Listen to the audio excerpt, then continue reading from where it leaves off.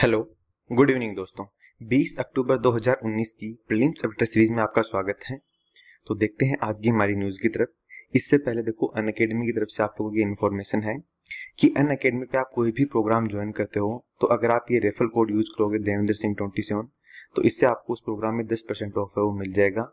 और अन अकेडमी पे internal security की क्लासें हैं वो अपनी स्टार्ट हो चुकी हैं पहले से ही। इसी के साथ आप उसके कोई भी डाउट वगैरह, वो भी वहाँ पूछ सकते हो। लाइव क्लासेस रहती हैं और जो धीरे धीरे हैं। वो आई की क्लासेस भी वहाँ पे स्टार्ट है, जो सिलेबस है कोर्स, वो भी जल्दी स्टार्ट होने वाला है। अब आज का जो पहला आर्टिकल है, वो आया है यहाँ पे तुलागी आयरलैंड के बारे में। देखो तो इम्पोर्टेंट न्यूज़ ये आई है जो तुलागी आइलैंड है, ये बेसिकली अभी चाइना की एक कंपनी है, उसने लीज पे लिया है, उसी को लेकर न्यूज़ यहाँ पे आई है। तो इससे का ये माना जा रहा है कि भाई चाइना की जो प्रेजेंस है पैसिफिक ओशियन में, वो लगातार चाइना अपना दबदबा बढ़ाता जा रहा है। अब इम्पोर्टेंट हम लोकेशन है इसमें सबसे काम की चीज़। देखो, जो तुलागी आइलैंड है, वो बेसिकली सोलोमन आइलैंड्स का एक ग्रुप है, इसी का एक पार्ट है। सोलोमन आइलैंड्स में क्या है? छोटे छोटे आइलैंड्स मिलके एक ग्रुप बना हुआ है, और उस आइलैंड के ग्रुप का एक आइलैंड है, जिसका नाम है तुलागी आइलैंड वर्ल्ड वॉर जब टू हुआ था, उस टाइम पे तो जापान ने यहाँ पे नेवल बेस वगैरह यहाँ पे बना रखे थे। लोकेशन काफ़ी इंपॉर्टेंट हो जाती है। यहाँ पे तुलागी आइलैंड है यहाँ पे पापा न्यू गिनिया जो कंट्री है, वो है इसके बाद में नीचे ऑस्ट्रेलिया की लोकेशन हो गई है। यहाँ पे हम बात करें तो फिजी एक इम्पोर्टेंट कंट्री आ जाती है। वो इस यहाँ पे लोकेशन पे आता है तुलागी आइलैंड तो उसकी लोकेशन आपको ध्यान में रखना है कि चाइना की एक कंपनी ने अभी इस आइलैंड को लीज पे लेने के लिए एग्रीमेंट है, वो साइन किया। है अब देखते हैं नेक्स्ट आर्टिकल नेक्स्ट जो आर्टिकल आया है, वो है प्रोजेक्ट सोली के बारे में। देखो प्रोजेक्ट सोली है, वैसे ये गूगल का प्रोजेक्ट है और जो कि 2015 में लॉन्च है, वो किया गया था। अभी ये न्यूज़ में इसलिए आया है कि गूगल ने अपना नया फ़ोन है गूगल पिक्सल 4 या 4 एक्सएल दो फ़ोन है, वो लॉन्च किए हैं। और उसमें बेसिकली प्रोजेक्ट सोली का यूज़ है, वो किया गया है। प्रोजेक्ट सोली में क्या है? प्रोजेक्ट सोली में ये है कि फ़ोन के अंदर एक मिनीचर राडार नहीं, देखो नॉर्मल जो राडार होता है, जो कि हम एयर ट्रैफ़िक को कंट्रोल करने के लिए यूज़ करते हैं, उसी तरीके का एक छोटा राडार है, जो कि फ़ोन में अवेलेबल है। ये क्या करेगा? ये राडार हमारे फ़ोन के आसपास जो भी एक्टिविटीज़ होगी, उसको कैप्चर करेगा। जैसे कि मान लो ये यहाँ पे फ़ोन है। इसके आसपास जो ही अगर हम फ़ोन को उठाने की तरफ़ जाते हैं, या फिर हम फ़ोन को जैसे कि आगे ऑन करने की कोशिश करते हैं, इसके आसपास कोई भी एक्टिविटीज़ होती है तो ये उसके मोशन को कैप्चर करके पहले उस तरीके से एक्टिविटी है वो स्टार्ट कर देगा। तो ये बेसिकली काम है।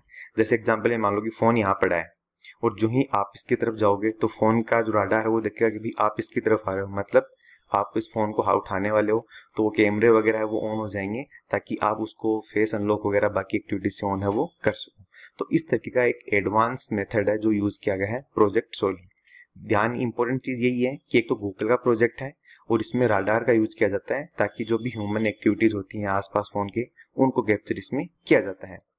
और क्या है कि जो राडार है, वो इलेक्ट्रोमैग्नेटिक वेव को फैलाता है, और वो इलेक्ट्रोमैग्नेटिक वेव है, उनकी हेल्प से जो भी एक्टिविटीज़ होती है, उसको कैप्चर किया जाता है। अब इसमें एक छोटी सी न्यूज़ ये थी कि भाई इंडिया में जो ये फ़ोन है वो लॉन्च नहीं हो पाएगा। इसका रीज़न ये दिया गया था क्योंकि इस जो राडार था ना, इसकी जो फ्रिक्वेंसी है वो है सिक्सटी गीगा वाली। और ये जो फ्रिक्वेंसी है सिक्सटी गीगा वाली, ये बेसिकली इंडिया में अवेलेबल मतलब नॉर्मल लोगों के लिए या फिर आप बोल सकते हो आम जनता के लिए अवेलेबल नहीं है। मतलब इंडिया में इसको बैन है वो किया गया इसलिए लोग इस चीज़ का फ़ायदा या इस चीज़ को यूज़ है वो इंडिया में नहीं कर पाएँगे। नेक्स्ट जो हमारा आर्टिकल है यहाँ पे, वो है state of the world children report 2019 important बात यह है कि वर्ल्ड चिल्ड्रन रिपोर्ट 2019 है, वो यूनिसेफ के द्वारा रिपोर्ट है, वो जारी की गई है। यूनिसेफ मतलब यूनाइटेड नेशन चिल्ड्रन फंड ये देखो बेसिकली वर्ल्ड वॉर टू के बाद बनाया गया था ये ग्रुप इसका मोटो ये था कि वर्ल्ड वॉर टू के बाद काफ़ी सारे बच्चे थे, वो अनाथ हो गए थे, बेघर हो गए थे तो उनके डेवलपमेंट के लिए, उनके फ्यूचर को सिक्योर करने के लिए ये फंड है, वो स्टैब्लिश किया गया था। बाद में इसे यूएन द्वारा भी रिकॉग्नाइज किया गया था, इसलिए इसको यूनाइटेड नेशन चिल्ड्रन फंड के नाम से जाना जाता है। अभी इस रिपोर्ट में देखो, कुछ पैरामीटर्स का यूज़ किया गया है, जैसे कि हेल्थ को लेकर इंडिकेटर जैसे माल न्यूट्रिशन ओबेसिटी मतलब मोटापा एनीमिया या फिर और जो हेल्थ इश्यूज़ होते हैं बच्चों के, इनको। और इसमें रैंकिंग है, वो कंट्रियों की, वो जारी की गई है।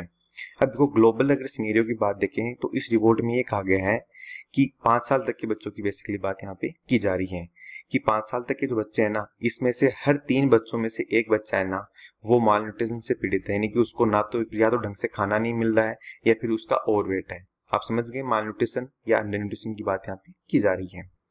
और वहीं अगर हम बात करें इंडिया के हिसाब से कि भाई इंडिया में क्या सीन चल रहा है तो देखो इंडिया में हालत कुछ ज़्यादा खराब है। इंडिया में ये रिपोर्ट ये शो करती है कि हर दो में से एक बच्चा, यानी कि इंडिया में पाँच साल तक की एज के जो बच्चे हैं, इसमें पचास परसेंट बच्चे ऐसे हैं जो मालन्यूट्रिशन से पीड़ित हैं, कुपोषण से पीड़ित हैं। इसी के साथ ही इंडिया में महिलाएँ हैं, इनमें भी 50 परसेंट महिलाएँ हैं, वो एनीमिया से पीड़ित हैं यानी उसमें ब्लड की कमी है, वो देखने को मिलती है हर दो में से एक महिला में।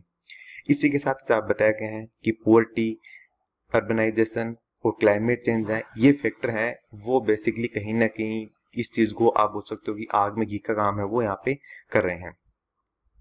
अब हमने प्रॉब्लम्स और चैलेंज तो देख ली। अब बात ये आती है कि भाई गवर्नमेंट ने क्या क्या एफोर्ड है, वो यहाँ पे की है। देखो गवर्नमेंट के तीन अभियान है यहाँ पे, वो आपको ध्यान में रखने हैं। ये मेंस में भी यूज़ हो सकते हैं आंसर राइटिंग में, और वैसे भी यूपीएससी पूछ सकती है। एक तो है पोषण अभियान, जो कि नेशनल न्यूट्रिशन मिशन के तहत चलाया गया है। इसके साथ ही एक प्रोग्राम चलाया गया है एनीमिया मुक्त भारत प्रोग्राम जिस प्रोग्राम का टारगेट ये है कि ऑल ओवर इंडिया में एनीमिया से इंडिया है एनीमिया एनीमिया जो बीमारी है, इससे इंडिया है वो खुद लड़ेगा।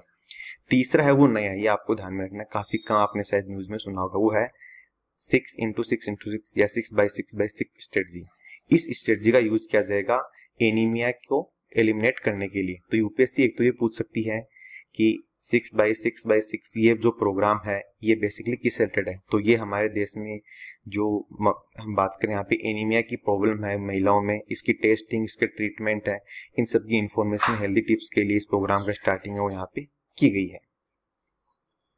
नेक्स्ट जो आर्टिकल है, वो है वीर सावरकर के बारे में। देखो वीर सावरकर है, उनका हमारी आज़ादी में काफ़ी बड़ा योगदान रहा है तो उसी को लेके न्यूज़ आई है तो हम एक बार देख लेते हैं।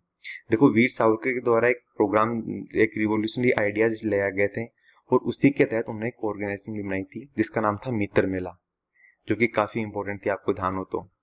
मित्र मेला ऑर्गेनाइजेशन उन्होंने बनाई थी ताकि हमारे देश के यूथ को अट्रैक्ट किया जाए और उनको मतलब आज़ादी के प्रति कुछ सिखाया जा सके और वो देश के प्रति लड़े और अंग्रेज़ों को यहाँ से भगाए, उनकी काफ़ी बड़ा कॉन्ट्रीब्यूशन रहा है। इंपॉर्टेंट चीज़ इनकी आती है वीर सावरकर की, कि भाई इन्होंने जो स्वदेशी आइटम्स हैं, इनको अपनाने के लिए दिया था स्वदेशी अपनाओ का नारा। इसी के साथ ही विदेशी वस्तुओं के बहिष्कार और विदेशी आइडियाज़ का भी बहिष्कार है वो करते थे। इसीलिए इन्होंने 1905 में स्वदेशी मूवमेंट चलाई थी और इसी के तहत इन्होंने बोनफायर यानी कि जो विदेशी आइटम थे, इनकी होली जलाई थी ताकि इसको खत्म किया जा सके विदेशी को भगाया जाए और स्वदेशी को अपनाया जा सके। इसके बाद में बात इंपॉर्टेंट बात यह थी कि इनकी बुक थी। जो यूपीएससी पूछ सकती है। बुक का नाम है the history of the war of Indian independence जो कि बेसिकली अठारह में जो सिपाही मिट्टी यानी जो सिपाही विद्रोह हुआ था, उसी को लेके यूज़ है, वो की गया है, उसी के बारे में इस बुक में मेंशन किया गया है। इसके बाद में वीर सावरकर को 1909 में, जबकि मार्लियामेंटो रिफॉर्म आए थे, उस दौरान इनको अरेस्ट कर लिया गया था और उनके खिलाफ कार्रवाई है, वो की गई थी। इसके बाद अगर मैं इनकी और देखें जो भी इनकी उपलब्धि थी उनमें तो देखो, इन्होंने एक तो अनटचेबिलिटी यानी कि छुआछूत है, इसको खत्म करने के लिए काफ़ी बड़ी एक्टिविटी है वो अपनाई थी। इसी के साथ ही हम बात करें, डॉक्टर भीमराव अंबेडकर ने इनको लॉर्ड बुद्धा से कंपेयर किया था कि इन्होंने बहुत अच्छा काम किया है तो ये आप ध्यान रखना है। इसी के साथ एक बात यह है कि जो इन्होंने टू नेशन थ्योरी है जो कि हिंदुत्व को लेके आई थी बेसिकली कि भाई हिंदू और मुस्लिम है, दो सेपरेट नेशन बनेंगे। इनको एक थ्योरी लेके आए थे 1937 में, और वो कि हिंदू महासभा द्वारा पास भी कर दी गई थी। इसके बाद हम और इनके एक्टिविटीज़ देखें तो आज़ादी के बाद 1964 में वीर सावरकर है इन्होंने बेसिकली एक हंगर स्ट्राइक चला दी थी, और उसी के तहत इनका देहांत वो हो गया था 1966 में। इसके बाद हम देखें तो इम्पोर्टेंट इनके नाम पे बेसिकली जो हम देखें यहाँ पे कि अंडमान निकोबार में जो पोर्ट एयरपोर्ट था, उसका नाम इन्होंने रखा था गवर्नमेंट ने वीर सावरकर इंटरनेशनल एयरपोर्ट तो ये इनकी उपलब्धि थी, ये इनके जीवन का कार्यकाल यहाँ पे है। नेक्स्ट जो आर्टिकल है, वो है इंडिया इनोवेशन इंडेक्स देखो इंडिया इनोवेशन इंडेक्स है, यानी कि ट्रिपल आई या फिर आप इसे बोल सकते हो आई थ्री आई 2019 का ये जारी किया गया है। इंपॉर्टेंट चीज़ ये है कि नीति आयोग के द्वारा इस इंडेक्स को जारी यहाँ पे किया गया है। नीति आयोग और इंस्टीट्यूट फॉर कंप्यूटर्स है, इन दोनों ने मिलकर इस इंडेक्स को ऐसे जारी है, वो यहाँ पे किया है। यानी कि हमारे देश में इनोवेशन पे कैसे काम किया जा रहा है, कौन सा स्टेट किस तरीके की इनोवेशन है, नवाचार लेके आ रहे हैं, इसको फोकस यहाँ पे किया। तो इस रिपोर्ट में ये आया है इस इंडेक्स में, कि भाई जो कर्नाटका स्टेट है, इसने इनोवेशन को लेके बहुत अच्छा काम किया है। इसमें से स्कोर दिया गया है सभी स्टेट्स को। तो कर्नाटका का जो स्कोर है, वो रहा है thirty five point six five तो कर्नाटका नंबर वन पे रहा है। इसके बाद में तमिलनाडु, बाद में महाराष्ट्र, तेलंगाना, इस तरीके से। तो यह आपको ध्यान में रखना है कि भाई कौन सी रैंकिंग है, कौन सी स्टेट को। स्टार्टिंग के एक दो स्टेट आप ध्यान रख लेना। और वैसे हम बात करें तो जो ग्लोबल इनोवेशन इंडेक्स यानी कि जी आई आई है, इसमें इंडिया की जो पोजीशन है इस बार वो रही थी 57 आउट ऑफ़ 126 ये जो ग्लोबल इनोवेशन इंडेक्स है, ये 2018 में रिलीज़ किया गया था, उसमें इंडिया की रैंकिंग अट्ठावन सॉरी सत्तावनवी रैंकिंग रही थी एक छब्बीस कंट्रियों में, जो कि काफ़ी अच्छी थी। तो यह ध्यान रखना कि भाई स्टेट को और भी अच्छा काम करना है ताकि हमारे देश में इन्वेस्टमेंट और आगे बढ़े। अब हम आगे देखते हैं वीर विक्रम साराभाई के बारे में। देखो, अभी विक्रम साराभाई की पुण्य पुण्यतिथि आई थी तो उसी को लेके आर्टिकल यहाँ पे आया है। विक्रम साराभाई है, इनका कंट्रीब्यूशन हमारे देश के जो हम बात करें कि स्पेस प्रोग्राम है, इनमें बहुत ही अद्वितीय योगदान इनका रहा हुआ है। देखो, जब इसरो बनाया गया था तो इसरो से पहले एक ऑर्गेनाइजेशन बनी थी, जिसका नाम था India Indian National Committee for Space Research I N C O S P A R जो कि 1962 में बनाई गई थी। इसके जो चेयरमैन थे या जो हम बोल हेड थे, वो थे विक्रम साराभाई। इन्हीं के सानिध्य में इसको बनाया गया था। इसके बाद में जो ये Indian National Committee for Space Research थी, इसका नाम चेंज कर दिया गया था इंडियन स्पेस रिसर्च ऑर्गेनाइजेशन 1969 में। यानी कि इसरो का निर्माण है, वो 1969 में किया गया था। इसके बाद में देखो विक्रम साराभाई ने एक फ़िज़िकल जो रिसर्च लेबोरेटरी है अहमदाबाद में, वो ओपन की थी। जो भी एक इनका बहुत बड़ा योगदान रहा था। इसके बाद में हम और देखें तो उन्होंने कॉस्मिक रे की स्टडी भी की थी। ये भी एक इम्पोर्टेंट फैक्ट आ जाता है।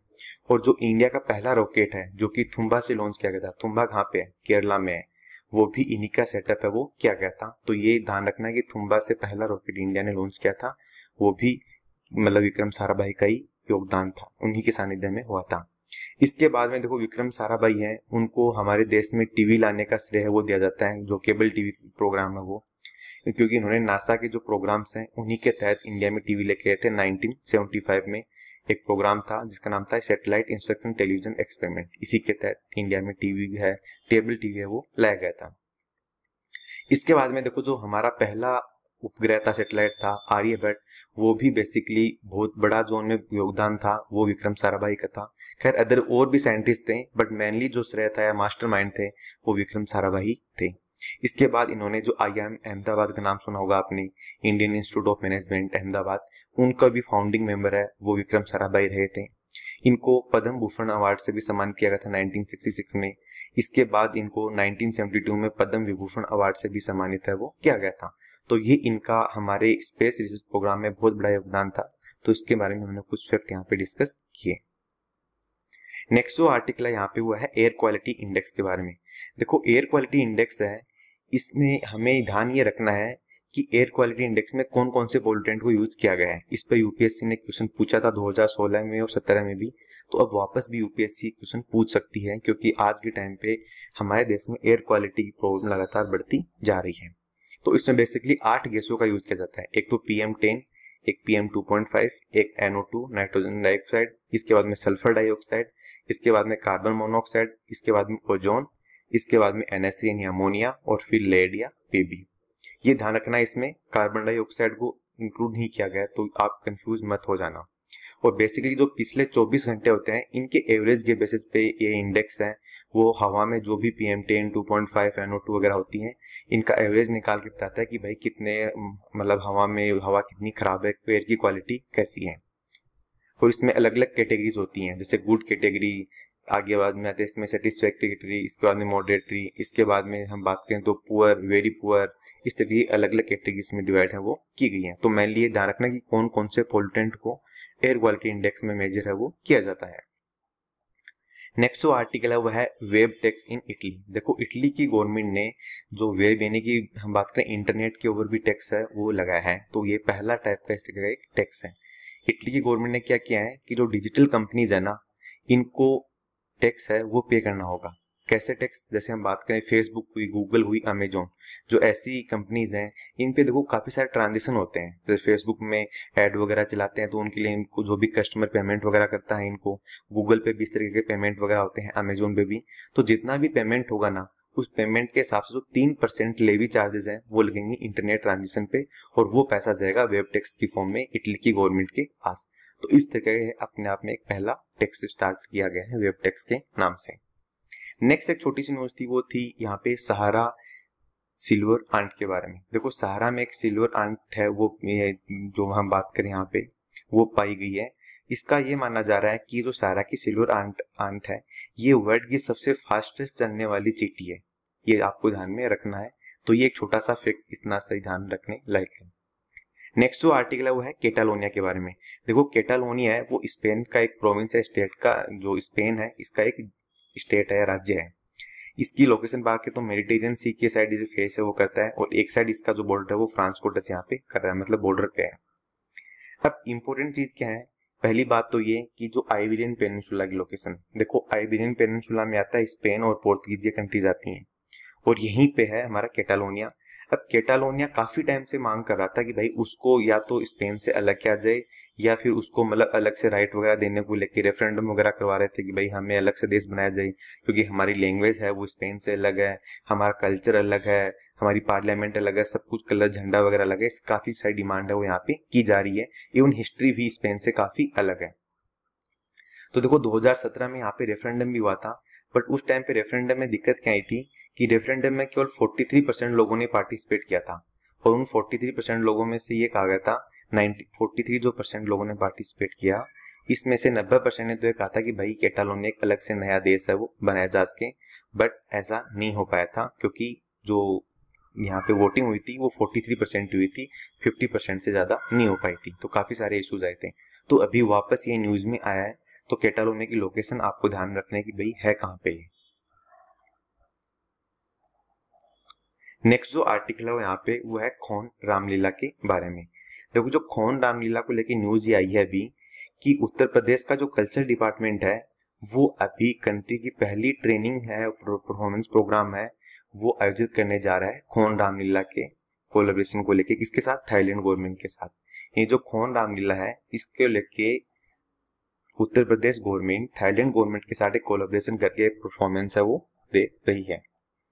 इम्पोर्टेंट बात हम देखते हैं यहाँ पे खोन रामलीला। देखो, जो खोन रामलीला है, वो एक मास्क की फॉर्म में रामलीला आर्ट है, वो की जाती है, जो कि थाईलैंड की एक कला है। तो ये आपको ध्यान में रखना है कि थाईलैंड की है खोन रामलीला, जो कि मतलब मास्क मुखोटे के रूप में प्रदर्शित की जाती है। कुछ इस तरीके से इसमें मुखोटे पहने जाते हैं और फिर पूरी रामायण को शो है वो यहाँ पे किया जाता है। इंपॉर्टेंट बात इसमें क्या है कि मास्क लगा के डांस है, वो परफॉर्म किया जाता है रामलीला का।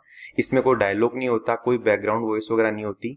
बस केवल पीछे मतलब बैकग्राउंड में रामायण है, उसकी स्टोरी है, वो चलती रहती है और उसी की फॉर्म में आगे फिर ये प्रदर्शनी है, वो यहाँ पे की जाती है।